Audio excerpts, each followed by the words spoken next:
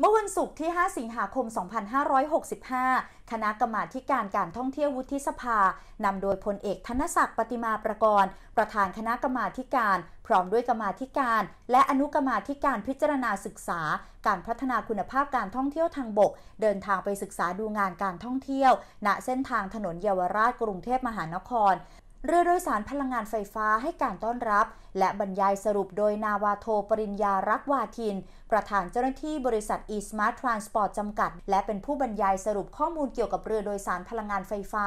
ซึ่งถือเป็นการช่วยลดมลพิษต่อสิ่งแวดล้อม ราคาค่าบริการ รวมทั้งมาตรฐานของเรือ และด้านความปลอดภัยในการให้บริการแก่นักท่องเที่ยวและบุคคลทั่วไป ซึ่งถือว่าเป็นไปตามมาตรฐานที่กรมเจ้าท่ากำหนด รวมถึงมีศูนย์ควบคุมดูแลการเดินเรือจากส่วนกลางผ่านกล้องวงจรปิดสำหรับปัญหาและอุปสรรคที่สำคัญ นั่นคือการพัฒนาท่าเรือแต่ละท่าให้ได้มาตรฐานและมีความปลอดภัย เช่นการเพิ่มแสงสว่างในเวลากลางคืน การควบคุมดูแลบุคคลที่เข้ามาใช้บริการบริเวณท่าเรือ รวมทั้งความสะอาดโดยรอบบริเวณทั้งหน้าเรือและหลังท่า พร้อมกันนี้ก็มีข้อเสนอแนะ คือนักท่องเที่ยวทั้งชาวไทยและชาวต่างชาติ นิยมใช้บริการเรือท่องเที่ยวเพื่อชมทัศนียภาพริมฝั่งแม่น้ำเจ้าพระยาในเวลากลางคืน หน่วยงานที่เกี่ยวข้อง จึงควรจะมีการพิจารณาจัดสรรงบประมาณสำหรับการประดับไฟในสถานที่สำคัญริมฝั่งแม่น้ำเพื่อเป็นการดึงดูดความสนใจให้เกิดแก่นักท่องเที่ยวเพิ่มขึ้น นายประวิทย์พันวิโรธอดีตผู้อำนวยการเขตสัมพันธวงศ์ได้เป็นผู้บรรยายสรุปเกี่ยวกับซุ้มประตูเฉลิมพระเกียรติ และแนวทางในการดำเนินงานด้านการท่องเที่ยวนายสมชายกวางทองพาณิชย์ ผู้เชี่ยวชาญประวัติศาสตร์ย่านเยาวราช บรรยายสรุปเกี่ยวกับข้อมูลการท่องเที่ยวเชิงวัฒนธรรม นายสมศักดิ์ศรีสุพรวานิชประธานกลุ่มอุตสาหกรรมสิ่งทอ บรรยายสรุปเกี่ยวกับการประกอบการค้าปลีกค้าส่งในเยาวราช นายธีรเดชสินทบเรืองชัย เลขาธิการสมาคมค้าทองคำมีการบรรยายสรุปเกี่ยวกับการประกอบการค้าทองคำในเยาวราช ดรเกยูนโชคลำเลิศ ประธานกรรมการบริหารบริษัทยูฟิชบอลจำกัด บรรยายสรุปเกี่ยวกับการประกอบการร้านอาหารในเยาวราช เส้นทางถนนเยาวราชถือเป็นพื้นที่สำคัญในการเชื่อมความสัมพันธ์ทางวัฒนธรรม การค้า และการท่องเที่ยวไทยจีนมาเป็นระยะเวลายาวนาน โดยมีความโดดเด่นของแหล่งท่องเที่ยวเชิงวัฒนธรรม เช่น ซุ้มประตูเฉลิมพระเกียรติ หรือซุ้มประตูวัฒนธรรมไทยจีนที่สร้างขึ้น เนื่องในโอกาสที่พระบาทสมเด็จ พระบรมชนากาธิเบศรมหาภูมิพล อดุลยเดชมหาราช บรมนาถบพิตรทรงเจริญพระชนมพรรษา 6 รอบ ในปี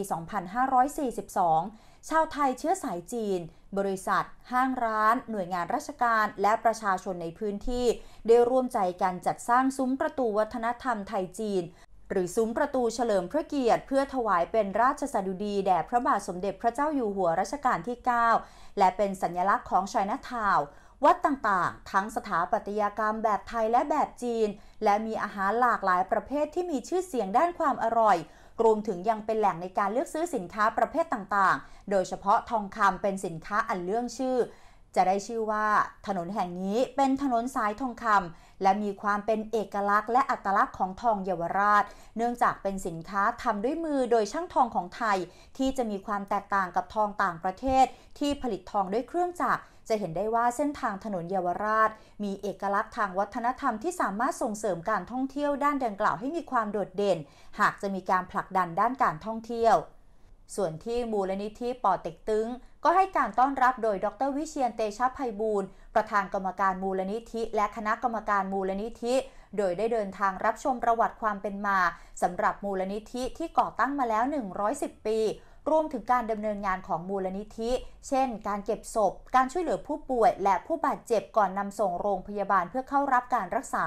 การบรรเทาสาธารณภัย การมอบทุนการศึกษา การมอบสิ่งของต่างๆ ให้กับผู้ยากไร้และผู้ได้โอกาส และการให้บริการรักษาพยาบาล และออกหน่วยแพทย์สงเคราะห์ชุมชน รายการคนหลังข่าวจบลงแล้วนะคะ อย่าลืมกดกระดิ่งเพื่อติดตาม จะได้ไม่พลาดทุกข้อมูลข่าวสารที่น่าสนใจ นอกเหนือจากนี้เรายังมีอีกหลายแพลตฟอร์มช่องทางออนไลน์ให้คุณผู้ชมได้ติดตามค่ะ ไม่ว่าจะเป็น Facebook แอปพลิเคชัน TikTok Instagram และ Twitter เพียงแค่ค้นหาคำว่าคนหลังข่าวเท่านั้น คุณผู้ชมจะไม่พลาดทุกข้อมูลข่าวสารที่น่าสนใจ และทันสมัยอย่างแน่นอน ขอบคุณสำหรับการติดตามรับชมรายการค่ะ